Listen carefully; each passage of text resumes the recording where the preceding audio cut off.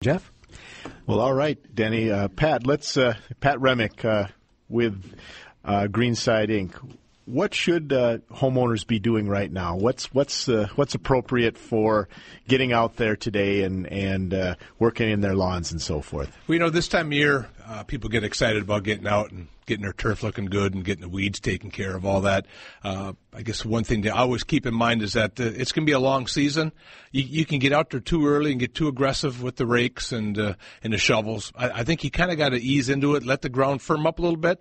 We're, we're getting to the point that it's getting a lot better uh, than it did two weeks ago, but uh, just take your time and, and try to, uh, if you are raking and doing things in the turf, try to try to be gentle because you can cause some damage that may last the whole season if you're not if you're not careful. But anything to do with the turf and the gardens, you know, if it's dry enough, feel free to uh, to start doing the uh, the weeding and, and uh, pruning on some shrubs if it has some some excess growth on it. That was a good time to do that. So the the hostas and the you know the other uh, daylilies and things that are now you know wintered over there. Yep. The, you cut that back now? Yeah. Is this the time of year? You know, grasses, uh, anything that's a, a, perennial that has, uh, you know, a daylily or some type of grass, uh, the stuff that has uh, expired, mm-hmm. try to cut that off, and you try to stay right a little bit of on top of the green stuff coming up. Mm-hmm. When you cut the, uh, the the dead product off the top, that'll help promote what's underneath.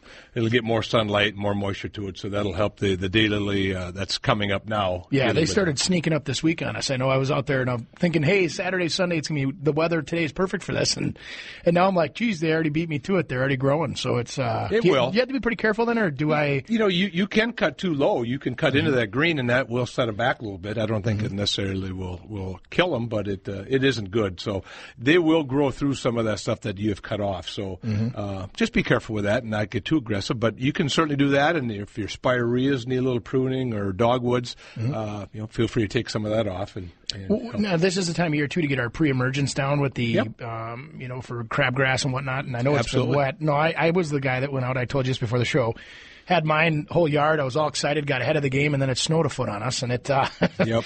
I don't know if it's diluted. How do you know? I mean, can is there a test that we can take, or is there? How do you know if you've got enough fertilizer on there and it didn't wash away? Is there? Well, you know, I, I think it's pretty hard to tell. A lot of times, uh, the fertilizer you buy these days have colors to it, uh, so you can go back out and look uh, underneath the grass plant and see if you still got some of that. Because most of it's got uh, a slow release to it. So I'm, I would think for the most part it's pretty good. It's when you get that six inches of rain and you know two yeah. hours that it could wash some of that away. So if we don't see granulars, it might not. But I right. see. I hate to burn it out, you know. And then you, you always hear the if you don't do it now, you can't uh, catch up later with with right. you know crabgrass. So, but you know, even well, crabgrass is probably a little more specific. But other weeds, you can you can put pre-emergence down in the middle of summer, mm-hmm. and pre-emergent pre-emergent weed killer will take care of the weeds that haven't came up quite yet. Gotcha. So you can certainly redo it again uh, a little bit later down the road. What about the the water features that are out there? This is the uh, time of year that we start working on those too. And yep. and how early or how late? You know, is a magic date for putting the outdoor exotics out there? The palm trees or the whatever you want to put it on your patio. When uh, when can we start doing that stuff? You know, a lot of that stuff is based on temperature of the soil and the atmosphere. Who knows? I mean, uh, maybe two weeks from now we get 80 degree temperatures and we're mm-hmm. fine. Uh, right now it's still kind of chilly, and some of those uh, plants are a little susceptible to to mm-hmm. frost or anything else. And who knows? Maybe we get some freakish cold front that comes through and it's 22 degrees again. Mm-hmm. Uh, again, it's a long season. I wouldn't be in a, in a big hurry to get some of that stuff out. And, and you guys have been, now obviously, this is the winter season when you guys are doing a lot of your estimating and you're preparing for your clients' projects.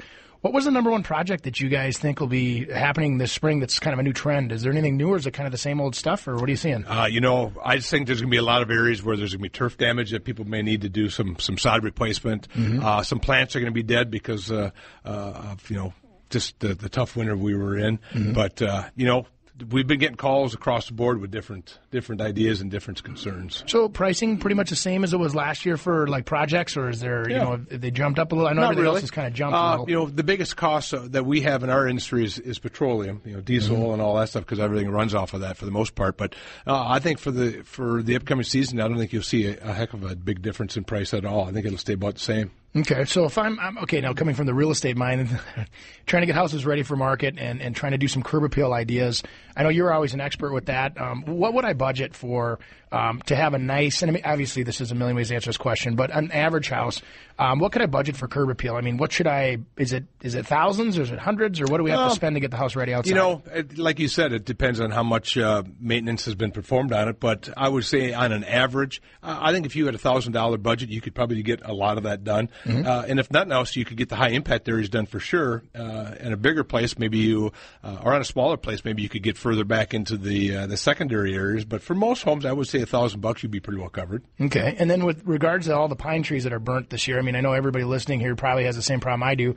Every pine that I had, beautiful or you know exotic or what, they're all burnt where do we go? Well, how do we how do we address that? You know, it, it's hard to say right now. Give it a little bit of time. Sometimes they'll get color back to them. Um, we'll know here in the next uh, month or two uh, as they start to get life back into their mm-hmm. veins. Uh, you'll know b- uh, better here pretty shortly what's going to make it. What's is not. there a needle check? I mean, like if we go up there and grab the needle and pull on it, is that something that's going to give us a sign that it, you know maybe we should prune that back? Or I, we... I, would say here, you know, it, it's still pretty early yet. The ground hasn't warmed up enough to the point where the, a lot of these trees and shrubs are really uh, jumping with joy that spring is here yet because mm-hmm. it's just been too chilly. Uh, wait about a month or so, and if it's still needles are dropping, then you know you may have to prune that off. Or you spray paint them green and color good. Say, for those just joining us, this is our usual real estate show, but we've we've invited Pat Remick back, and that's why if folks just turning on the radio, they might think, "Hey, you extended the garden show." well, we kind of have, and uh, we like to invite uh, Pat from time to time to talk about uh, those various issues because it is important. And I wanted to ask you kind of what uh, what, what Andy asked you about uh, the tough winter we've had a lot of the evergreens because we've had a lot of calls about the browning of these things. Yep. And uh, can you trim some of that off, or you said it's maybe a little too early? To I, I, think so. And a lot of that browning is, is from just being dried out with the with the ah, winds and the sure. cold. I mean, it was as tough a winter as we can all remember. Uh, but in a month or so from now, we're going to really know for sure where we're at with what's going to make it, what's not. At that point in time, if it's still brown, trim it back. Does I was just going to quick. Uh, yeah. Bur, does burlap make a difference? I've seen other people yeah. wrap burlap, and that yep. uh, seems to be. Is that well? The... That'll help hold the moisture in because what happens is mm-hmm. with that wind and everything that's happened, it just dries everything out so much. And the more it dries out, the colder it gets, it just causes that branch to you know, so die. it's not necessarily a sunburn. I always thought it was like a sunburn, like the uh, sun was hitting it and baking the, you know, and when that, it it, that's a contributing factor. Okay. It's okay. just like smooth bark trees. You can get sun scalding because in the wintertime, the, the sun will heat up that outside bark mm-hmm. and it'll crack it open. Sure. That's what they call sun scalding. But hmm. evergreen's not so much, no. All right.